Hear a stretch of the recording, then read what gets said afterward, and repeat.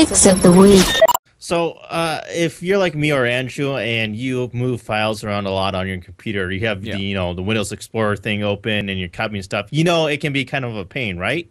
You've experienced Yes. that, right, Andrew? Ah, a horrible pain.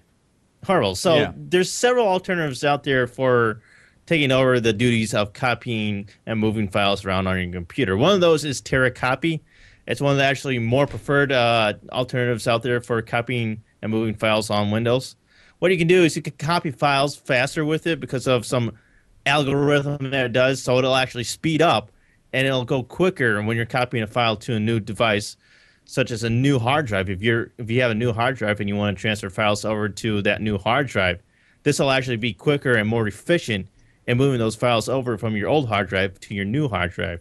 You can also pause and resume mm-hmm. file transfers, which is something that's really great. So if you're wow. you're doing something but you need to pause it for whatever reason, or for whatever reason it stops uh, transferring that file to its new folder, you can resume that again with TeraCopy, so you don't have to start all over again like you would if you're just using Windows Explorer like usual.